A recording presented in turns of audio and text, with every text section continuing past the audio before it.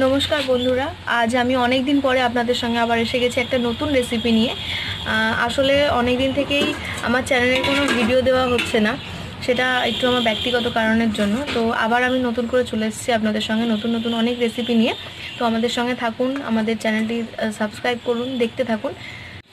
আজ আমি আপনাদের দেখাবো বাঁধাকপির বড়া কীভাবে তৈরি হয় বাড়িতে হোমমেড পদ্ধতিতে। বাঁধাকপিটা ছোট ছোট করে কুচো কুচো করে নিয়ে কাটা হয়েছে এবং বাঁধাকপিটাকে সিদ্ধ করে রাখা হয়েছে, জলটা যাতে ঝরে যায়। এর মধ্যে আমরা কিছুটা চালের গুঁড়ি দিয়ে দিয়েছি মানে চালের গুঁড়ো আর কি।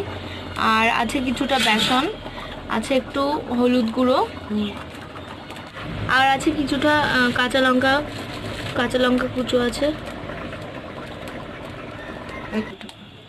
পরিমাণ মতো লবণ দেওয়া হচ্ছে। আমরা দিয়ে দেবো একটু আদা রসুন বাটা। হ্যাঁ, একটু দিয়ে দেবো আদা রসুন একটু আদা রসুন বাটা একসঙ্গে আছে। দিয়ে একটু দেবো আমরা লঙ্কার গুঁড়ো। একটু লঙ্কার গুঁড়ো দিয়ে দেওয়া হচ্ছে। কাঁচা লঙ্কা আছে। আর একটু লঙ্কার গুঁড়োও দিয়ে দেওয়া হলো। আর এখানে একটু পেঁয়াজ আছে, সেটা পেঁয়াজটা একটু হালকা লবণ দিয়ে এরমভাবে মেখে নিতে হবে। মানে যাতে পেঁয়াজটা নরম নরম হয়ে যায় আর কি।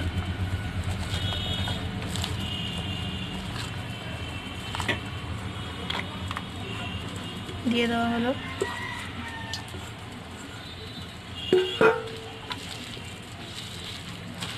এবার এই যেটা ছিল আগে, মাখা, সেটার সঙ্গে পেঁয়াজটা ভালো করে মেখে নিতে হবে। কড়াতে আমরা তেল দিয়ে দিয়েছি, এবার তেলটা গরম হওয়া পর্যন্ত অপেক্ষা করব। আর এটাতে বেশি তেল লাগে না, অল্প তেল হলেই হয়ে যাবে।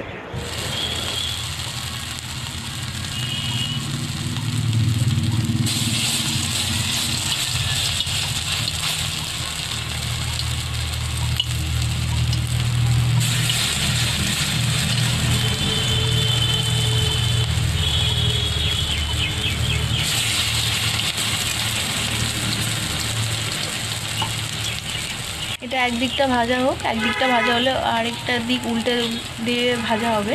ততক্ষণ আমরা একটু অপেক্ষা করব। এটা আরেকটা দিক উল্টে দেওয়া হলো।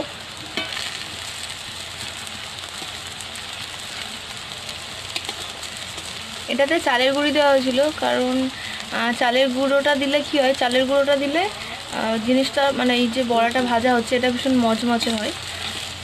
যার কারণে চালের গুঁড়োটা দেওয়া হয়। আপনারা চাইলে এটা নাও দিতে পারেন, শুধু বেসন দিয়েও করতে পারেন। তো তৈরি আমাদের গরম গরম বাঁধাকপির বড়া। দেখতেই পাচ্ছেন, এটা খুব সুন্দর মজমজা হয়েছে।